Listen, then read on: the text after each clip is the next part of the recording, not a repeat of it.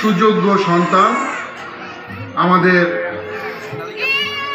যুবলীগের, বাংলাদেশ যুবলীগ, যুব, যুবলীগের কেন্দ্রীয় সদস্য আসিফ খান।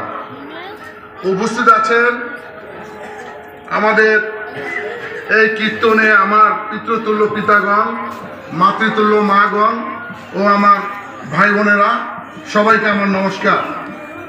আসলে কীর্তনে বিঘ্ন ঘটানো উচিত না। এখানে ধর্ম, ধর্মীয় গান হচ্ছে। আপনারা শুনবেন, এর ভিতরে আমাদের কথাই বলা উচিত না।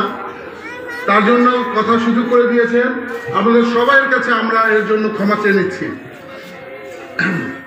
আমি বলতে চাই যে আজকে এই কালী মন্দিরে আমরা এসেছি এই কীর্তন গানে।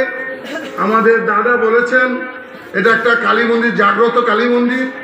এখানে যারা শ্রোতা, যারা ভক্ত, এই ভক্তবৃন্দ যেন আগামীতে সুন্দরভাবে কীর্তন, নাম গান শুনতে পারে, তার জন্য আমরা এই মন্দিরে সংস্কারের জন্য আমরা পঞ্চাশ হাজার টাকা আমরা অনুদান আমরা ঘোষণা করছি।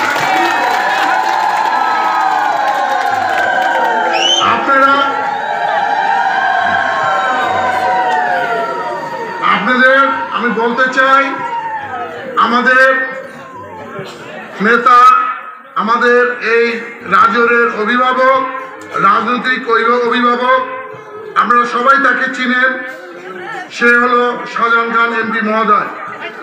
তার যে উন্নয়ন, এই উন্নয়ন চলছে, এই উন্নয়ন চলবে। আর এই উন্নয়নের জন্যই তার তার তার হাতকে শক্তিশালী করতে হবে। আর তার তার হাতকে শক্তিশালী করলেই জননেত্রী শেখ হাসিনার হাত শক্তিশালী হবে। আপনাদের সবার কাছে আমি এই প্রধানমন্ত্রীর জন্য আমরা আশীর্বাদ কামনা করছি এবং আমার নেতা জনাব খান এমপি মহোদয়ের জন্য আপনাদের সকলের কাছে আশীর্বাদ কামনা করে আমার বক্তব্য শেষ করছি।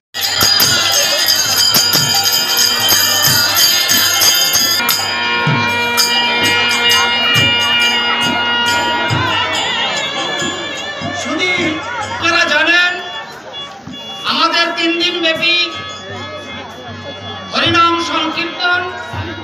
সেই সংকীর্তন আমরা সেই দিনে যে কথা বলেছেন সেই এমপি মহোদয়, আমাদের যা দেন, সবই কিন্তু এমপি মহোদয় দেন। ঠিক আছে? তা এবং এমপি মহোদয় নিয়ে আসেন জননেত্রী শেখ হাসিনার কাছে কাছ থেকে। আর আমরা কিন্তু তার কাছ থেকে না আপনাদেরকে দিই। যেহেতু আমাদের শ্রেণির ভাই বলেছেন আমি এক লাখ টাকা ঘোষণা দিয়ে গেলাম। ধন্যবাদ।